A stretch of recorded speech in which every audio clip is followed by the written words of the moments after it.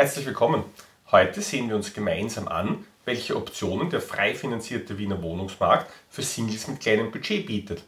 Als Budgetgrenzen haben wir uns 800 Euro Bruttomiete pro Monat bzw. einen Bruttokaufpreis in Höhe von 200.000 Euro gesetzt.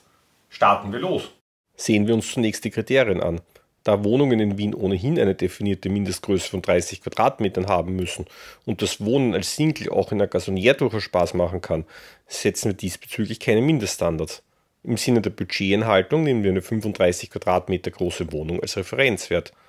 Interessanter sind die Ansprüche an die Wohngegend hinsichtlich der Kriterien Nähe und Anbindung zu den Arbeitsplätzen, Nähe zu Flughäfen und Bahnhöfen, Sportmöglichkeiten und Naherholungsgebieten, Kultur- und Freizeitangeboten, gastronomischem Angebot sowie soziale Lage und Renommee des Standortes. Selbstverständlich sind die Ansprüche hier sehr unterschiedlich. Sehen wir uns hier also zunächst unsere Musterpersonen an. Christina ist Berufsanwärterin in einer Steuerberatung und Wirtschaftsprüfungskanzlei im ersten Bezirk. Die meisten ihrer Mandanten erreicht sie per Zug. Gelegentlich muss sie auch fliegen.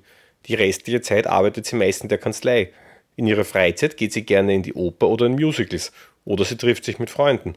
Ihr Essen bereitet sie am liebsten selbst zu und nimmt dieses mit. Für sie sind also eine gute Anbindung an den ersten Bezirk sowie zum Hauptbahnhof wichtig.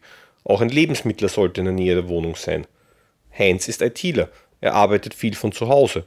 Zum Ausgleich fährt er gerne mit dem Fahrrad am besten direkt von zu Hause los, weshalb ihm eine grüne Umgebung wichtig ist. Da das Kochen nicht zu seinen absoluten Stärken zählt, sind ihm auch gute Restaurants in der näheren Umgebung wichtig.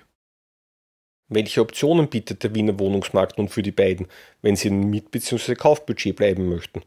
Beginnen wir zunächst mit der guten Nachricht auf der linken Seite der Grafik. Mit einem Budget von 800 Euro pro Monat kann man sich in jedem Kretzel Wiens eine Mietwohnung leisten. Außerhalb der Innenstadt würden sogar 700 Euro ausreichen, um sich die Bruttomiete inklusive den Hausbetriebskosten leisten zu können. Deutlich weniger einheitlich sieht die Karte aus, wenn es darum geht, sich mit maximal 200.000 Euro eine Gasonier zu kaufen. Vereinfacht gesagt ist es nur in Randlagen in den Bezirken 10, 11, 14, 21, 22 und 23 sowie in wenigen Kretzeln im 16. und 17. Bezirk möglich. Welche Bezirksteile sind also nun für Christina besonders interessant und passen preislich ins Budget? Falls Christina sich entscheidet zum Mieten, kommen im Wesentlichen die inneren Bezirke 1, 3, 4 und 5 sowie knapp manche Teile des zweiten und sechsten Bezirkes in Frage.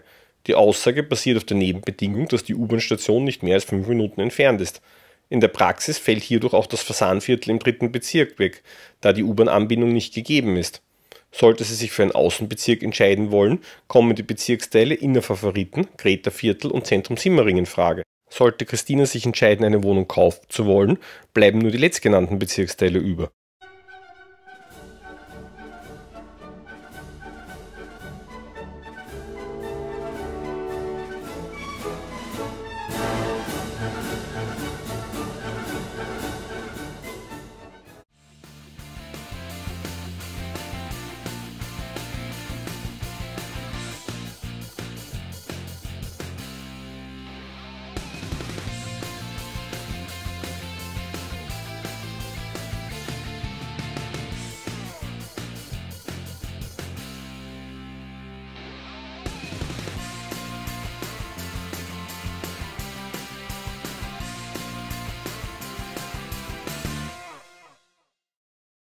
Für Heinz sind die Grünflächen und das Gastronomieangebot wichtig.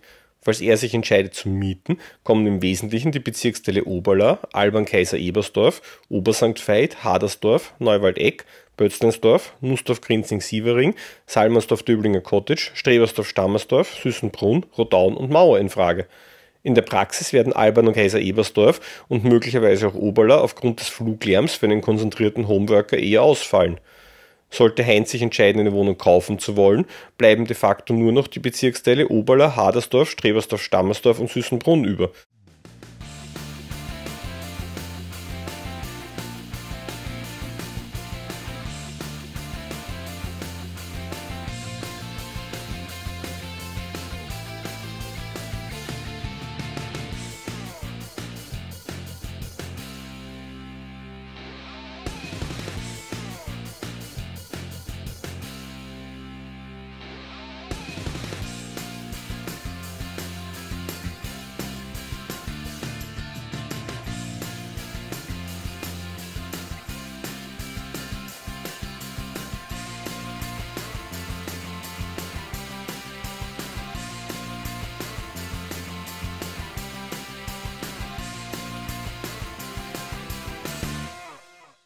Welche Bezirksteile würden wir Heinz und Christina also nun empfehlen?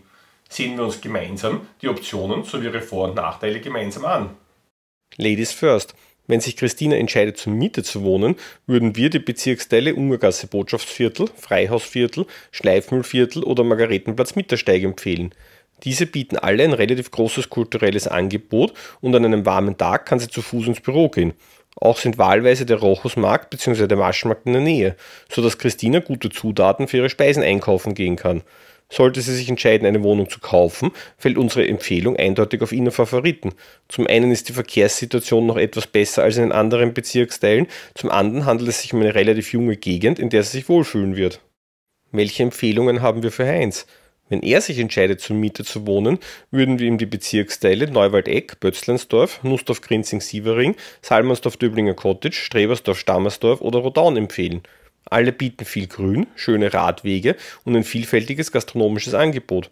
Sollte er sich entscheiden, eine Wohnung zu kaufen, fällt unsere Empfehlung auf Strebersdorf-Stammersdorf. Sollte ihn der Fluglärm nicht allzu zerstören, eventuell auch auf Oberla. Selbstverständlich hat eine solche Analyse keinen Anspruch auf absolute Objektivität. Haltet ihr unsere Bezirksteilvorschläge für eine gute Wahl? Schreibt es uns unten in den Kommentaren. Ja, und wenn es euch gefallen hat, schenkt uns ein Like und abonniert unseren Kanal. Bis bald!